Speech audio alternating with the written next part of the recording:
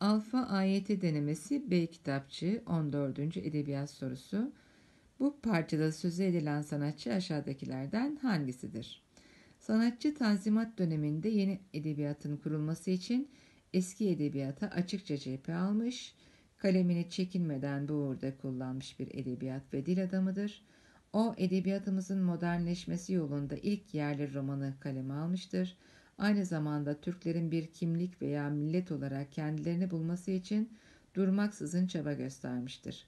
Bu çerçevede batıdaki gelişmeleri günü gününe Türk okuyucusuna aktarmış, birçok gazete ve dergi çıkarmış, ansiklopediler, cep kitapları yazmış ve de özellikle milli kimliğin temel yapıcı unsurlarından biri olan Türkçe üzerine son derece önemli ve kayda değer çalışmalara imza atmıştır.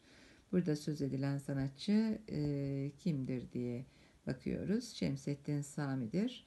E, o bir dilcidir çünkü ama ilk yerli roman Taşık Talat ve Fitnat'ı yazan kişi denince zaten Şemsettin Sami olduğu hemen akla geliyor. E, burada söz edilen ansiklopediler e, Kamusu Alam'dır. Türkçe ile ilgili çalışmaları, Türk diliyle ilgili bir sözlük çalışması Kamusu Türki adlı eseridir. Bunun dışında Kamusu Arabi ve Fransevi gibi de sözlükleri vardır. Doğru cevabımız E seçeneğidir. Şemsettin Sami.